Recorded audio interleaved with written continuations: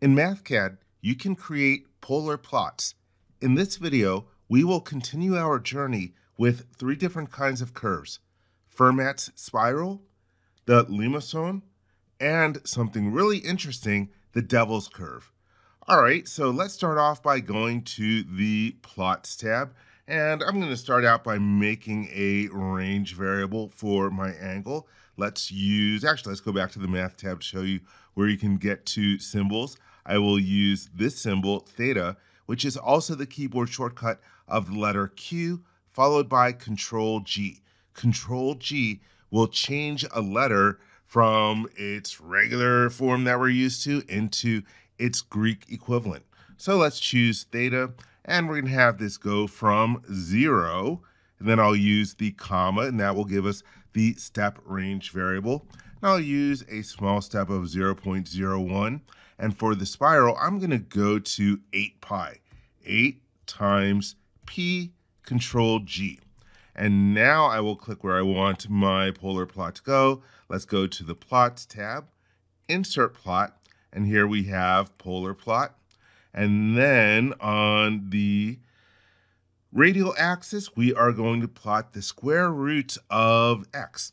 And if you use the backslash, that's the keyboard shortcut for the square root, and then I'll put in theta, q, control G, and then down here for the angular axis, I'll put in theta once more, q, control G, and then let's click on the outside so you can see the spiral.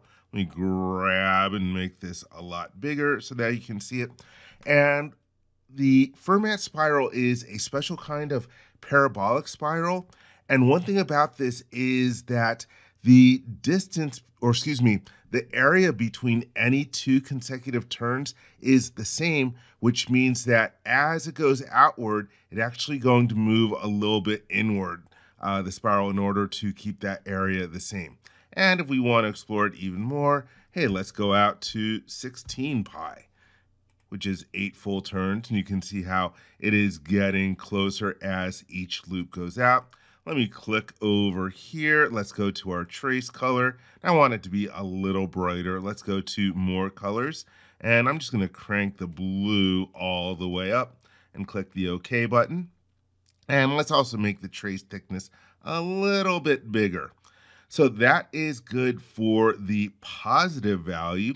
Let's add another trace and let's just do the negative. Let's do negative and then I'll use the backslash to get square root and then Q, control G. Click on the outside and we have our second one.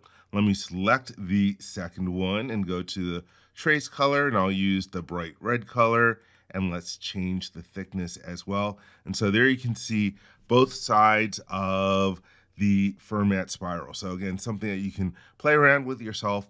You can also multiply this by a coefficient for other different variations.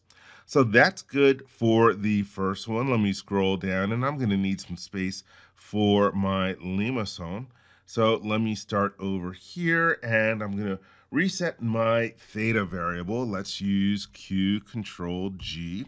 And this is going to be equal to 0, comma, 0 0.01. And then I'll use my arrow to move out to the other placeholder. And let's just go out to 2 pi. 2 times pi, which is P control G. And for the limacon, I'm going to set up some coefficients to use. And so I can play around with them later on. Let's set up a coefficient a, a variable a. This will be equal to 4. And then let's do a second one, b. And b I will make equal to 5. And so I'm going to make four different functions for the limacons. So let's type in limacon 1. And I'll do this as a function of an angle alpha, a, control G. This is going to be equal to a plus b times cosine of our angle alpha, a control g. Let's do a second one.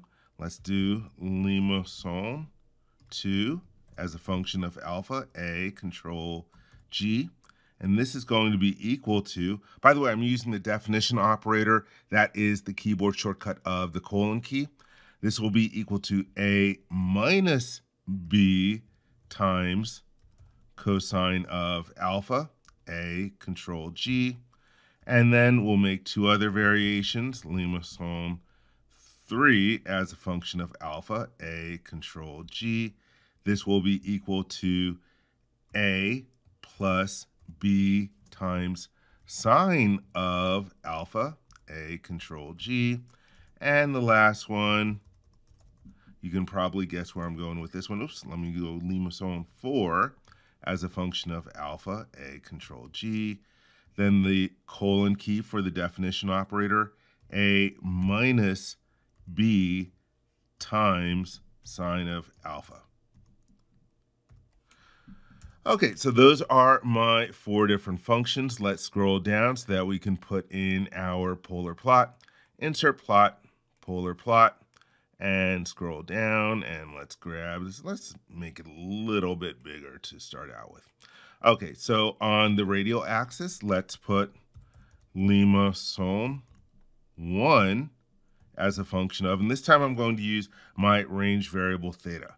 Q, control G, and then on the angular axis, I'll put in theta, Q, control G, and then click on the outside. So there you see what our limacon looks like. And then let's click over here and let's add in another trace. Let me scroll down a little bit. I don't need to see my formulas anymore and I can make this whole thing a little bit bigger and wider. For our second one, it'll be limacon 2 as a function of theta, Q, control G, and then click on the outside. Let's change the color just so that we have more contrast. Trace color, and I'll go with my nice bright red. Let's change the thickness while we are at it. Let's go back to the first one and change its thickness as well. And so you can see that when we have it, when we go from plus to minus the cosine component, it ends up going to the other side. Let's see what happens when we add in the ones that involve sine instead of cosine. Let's click over here and then add a trace and limacon 3 as a function of theta, Q, control G, and click on the outside. And let's select this third trace and change its color. And let's go to more colors. I'm just going to grab a greenish color and click OK. And let's change the thickness of this one as well.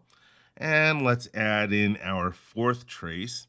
Add trace, limacon 4 as a function of theta, Q, control G, and click on the outside this one is yellow. It's pretty hard to see on the background. So let's go to our trace color. Let me go to more colors. Let me see what would stand out in here. Let's grab a purplish color and click the OK button and increase the thickness.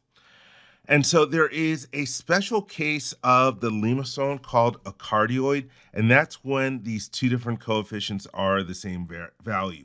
So let me scroll up where I have my different variables. Let's change, say, the A variable. Let's change this from a 4 to a 5, and then click on the outside, and you can see how it ends up changing. And it looks like a heart, hence the name cardioid. But again, you can play around with these different values in here. So for example, if I change this to a 2, and then click on the outside, you can see that the inner loop ends up getting a little bit bigger. But again, these are nice, easy equations that you can play around with and have fun with, uh, changing the different variables that you have set up. All right, now for the devil's curve. Now, I'll be honest, I don't understand this one at all. It is weird. It is fun to play around with. And so let me start off with a couple of variables. Let's use C this time. C I will set to an initial value of 1. And let's use another one, D. And this is going to be equal to, let's also start out with a value of 1. Again, I'm going to play around with it. And let's see, with our theta value, I think I'd reset it so it's only going to 2 pi. Let me scroll up to confirm. Yep, that should work for this one. Uh, actually, I do want to play around with it. I'm going to show you something else that is going to be weird with it. So let's set up Q Control G. I'm going to use the same initial value as before, and then we'll see what happens when I start playing around with the interval. And this is going to go to 2 pi, 2 times p, control G. And now let's set up our function for the devil's curve. And devil as a function of, I'll use phi to be different, f control G. This is going to be equal to, I will use the colon key on the keyboard, and this is the square root. And by the way, let me show you the square root operator. If I go to the math tab, operators, and here we can get to our square root and nth root. Again, the backslash is the keyboard shortcut for this. But this is going to be equal to d squared, d, shift 6 for the exponent, d squared. Let me move my arrow to the right, and it's going to be d squared plus, and then our c squared, c, shift 6 for squared. Then I'll use the space bar to highlight all of this. c squared is going to be divided by the cosine, and then I'll do parentheses, of 2 times our function variable phi, which is f control G. And so this is the devil's curve. Let me select it. Let me just move it a little bit down just to get a bit of spacing. Now let's click where we want our polar plot to be. I'll go to the Plots tab, Insert Plot, Polar Plot, and let's make this bigger. And down on the bottom, we will plot theta. So let me put theta, which is Q, Control G. And then here we're going to put our function, which is devil. By the way, they call it devil's curve because of, I don't know, diabolo, some uh, foreign word. And uh, again, you'll see how it is. It's just a really fun function to play around with. Let's do open parentheses and then theta, which is Q, control G. And then I will click on the outside. And so right now you're like, okay, yeah, not that interesting. Let me turn off our different axis expressions, tick marks. I just want to get you to be able to see the curve and really nothing else. But anyhow, so right now it looks like an X and it goes out onto infinity.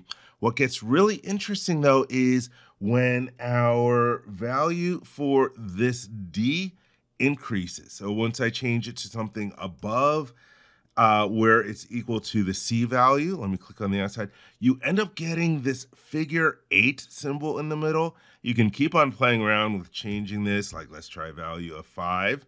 You can see how that little figure eight in the middle gets bigger. Let's change this a couple more times. Let me try change this really big. Let's make it say 15. Wow, and then you see it really, really ends up changing the shape over here. Let's go back down a little bit more. So this one you can just play around with and see how the numbers end up changing the curve over here. And then what's also interesting is if you start playing around with the spacing here, you actually end up changing the value. So let me change so that we have a smaller increment, 0.01, and click on the outside, you can see that it ends up extending some of these different branches.